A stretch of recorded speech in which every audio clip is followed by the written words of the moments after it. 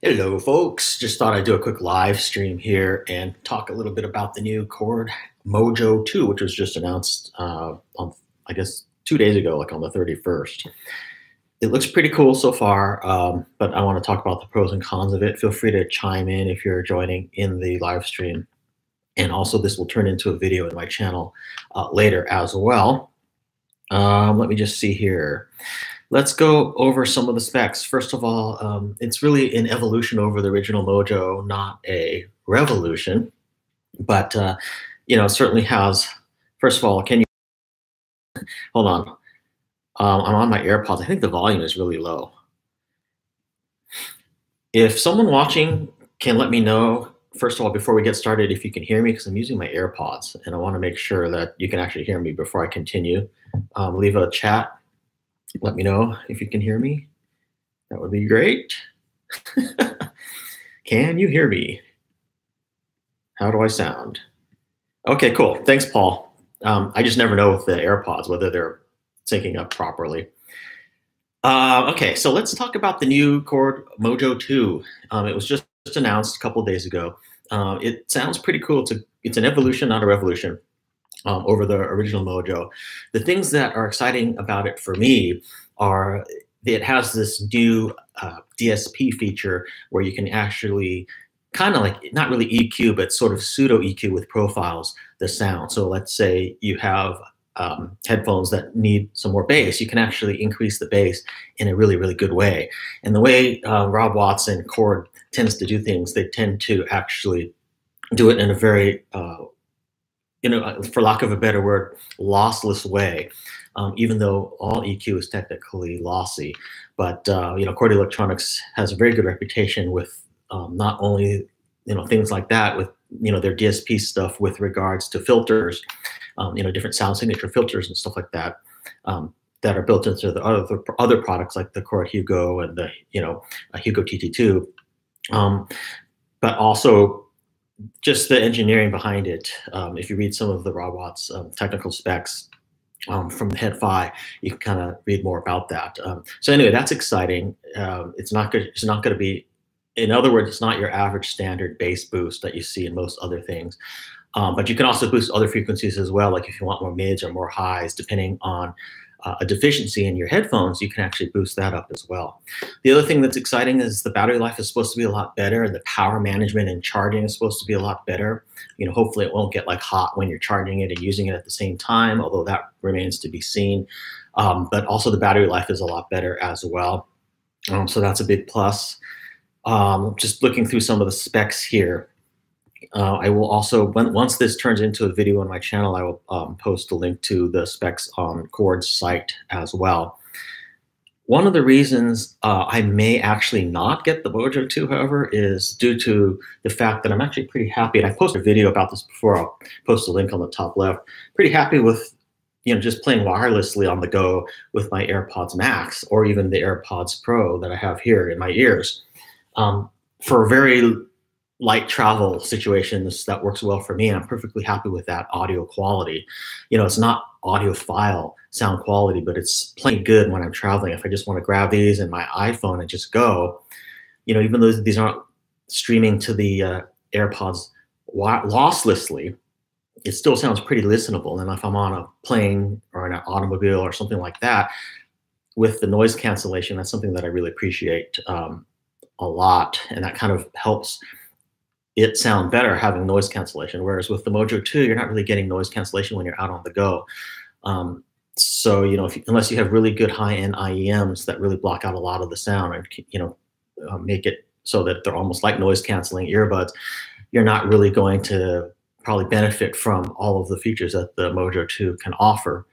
But I would say if you're looking for something that's a very small pocketable solution that's an all-in-one solution that you can use on your desktop when you're at home and mobilely that's an audiophile solution the mojo 2 is really going to be tops.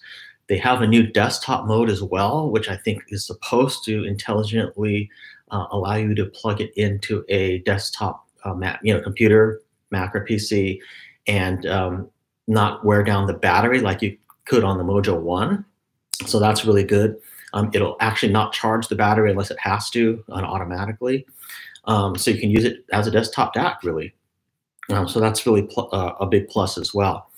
Of course, they've increased the amount of digital taps in the Mojo 2 from previous, so now it has a lot more taps, and I'm just looking for that on the website here. That's why I'm looking down here. So um, uh, let's see, how many taps does this thing even have? I think it has something like 40,000 taps or something like that, right? Um, so it's certainly a lot more improved in that respect. Um, and just the form factor is more improved as well. It has a new M button, which is a menu button that allows you to go through different menu options and set different things uh, on the Mojo 2, and it will remember that as well. Um, also has a USB uh, input, USB USB C input now for audio. So it still has the USB micro audio input, and that allows backwards compatibility with the Poly, which has been out for a couple of years. Um, a lot of people don't like the USB micro, and they're kind of complaining about the fact that it has USB micro, but I think they really needed to do that in order to provide Poly compat backwards compatibility with the Poly. But the good thing is if you have a USB C device, it also has the USB-C input as well, although the USB-C can't be used to charge the unit. Um, so, so yeah, just going through on their website here, um, some of the key points, improve FPGA, more resolution and power and efficiency. Um, as I said, improved battery and FPGA um, power management controls, the new menu function I've mentioned also. UHD um, DSP, it says advanced EQ adjustment for headphones, file formats and personal taste. Um, also, I believe there's a headphone uh, impedance uh, feature in there as well. So if you're using high impedance headphones, you can actually switch the Mojo 2 um, to actually sort of uh, put out a better impedance level for high impedance headphones, um, you know, for more optimized sound as well. It also has the improved WTA filtering, 40 DSP cores for better transparency and lower noise, the high-speed USB-C input, two 3.5 millimeter headphone outputs and wireless ready. Simply add the Poly for streaming. So let's go ahead and see if there's any comments here. I have only a few people, handful of people watching now, but I think, um, you know, I didn't time this live stream at all. This is just totally impromptu. So when this turns into a video later on in my channel, there might be some comments that, um, you know, people can engage in the comments and ask questions and I'll try to answer there as well. But let me just see if there's any questions in the live chat here. Um, yeah, some people are saying um, after seven years, the sound improvement is minor. Um, Mighty has commented that on the Mojo 2. That might actually be true. You know, as I said, it's um, a evolution, not a revolution. But with more increased taps, I think it's going to sound better than the Mojo 1. Um, you know, more taps has been proven to sound better and more transparent. And then also you get the uh, EQ as well. So, you know, someone like me who likes a lot of bass boost, or not a lot, but does like bass boost, and some headphones don't sound, you know, bassy enough for me. I think that is going to be a major plus with the uh, Mojo 2. It's going to be a better quality EQ using the Mojo 2 based EQ settings rather than trying to do it in software uh, in general. But yeah, it is just uh, an evolution, not a revolution. Um, but you know, I think also the price isn't too bad. I think when the Mojo came out, it was like six ninety nine. Of course, it went down after that, but the Mojo 2 is only 725, so it's not that much more expensive um, than when the Mojo came out seven years ago. So that's a plus as well. I'm glad it's not. I'm glad it's not something that's like, you know, over a thousand dollars or something like that. But as I said, I don't know for sure if I'm going to get it because I am pretty happy mobily just with the Apple AirPods Max or the AirPods. The only reason I would probably get it is if I want to do mobile listening that's more audiophile listening around the house when I'm away from my main rig which is the uh, Hugo TT2 and the M scaler. So if I want to go to a different room or something like that and listen more audiophile, um, then I could probably use the Mojo 2. But again, I'm still pretty happy with the sound of this with noise cancellation with the Apple stuff just wirelessly, even when I uh, want to listen intently and stuff like that. Um, you know, it works with Qobuz and you know that streams either high res or lossless. Although I'm not getting high res or lossless wirelessly to the Apple devices, but that might be something that's coming on the horizon. You know, there is rumors that the next version of AirPods may actually stream wirelessly to the AirPods completely losslessly. So I think that will really change things drastically if they do come out with that. That is kind of going to revolutionize things because currently, right now, you're only getting an AAC stream to the Apple any Apple AirPods. You know, it's not wire, it's not lossless. So even if you're playing lossless or high res from the source, like from your iPhone or whatever like that, you're not getting lossless wirelessly to your AirPods. So that is kind of one negative uh, with them, you know, for someone who's like an audiophile. Uh, okay, let's see. A lot of spam comments here that are getting blocked automatically by the filter, which is good. Thanks, YouTube. Um, and um, let me see.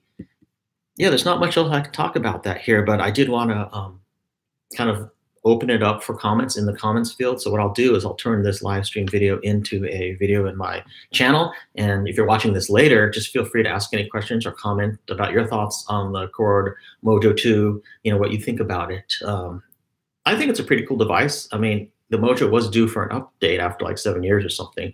And, uh, you know, and that small form factor sells really, really well. A lot of people like their small little portable devices. And it's kind of cool that it's a do all device that you can take with you like let's say you want to bring something with you um, for your commute to work, but then you also want to use it at work, you know, plug it into your computer at work, you can do that. And you're getting complete audiophile quality uh, as well. The other thing is this new Mojo can plug into the M scaler. So if you have the Chord M scaler, it can plug into there, although you're not getting the full taps, you know, the full amount of um, upscaling uh, with the Mojo that you would get with something like the uh, Chord uh, TT2 or the Hugo 2, but it can upscale, you know, through the M scaler um, completely digitally. Let's see any other comments here. Let's see, just mostly a lot of spam comments, and I'm probably missing some of the comments as they're flying by. But anyway, um, if you've missed being able to comment in this live chat or live stream, just go ahead and uh, wait until it appears as a video in my channel and go ahead and leave a comment and I'll still interact there. And maybe I've missed something too, because this is just a very impromptu live stream that I just didn't really plan ahead. But I did want to just go to chat about the Mojo 2. And I'm actually on the fence, you know, if you're wondering whether I'm, I'm going to really buy it or not. I'm kind of on the fence for the reasons that I've mentioned in this video. Um, does seem and look really cool to me, and I do want one. But on the other hand, uh, I don't know if I need one. You know what I mean? So thanks for watching, and uh, I will see you in the comments field.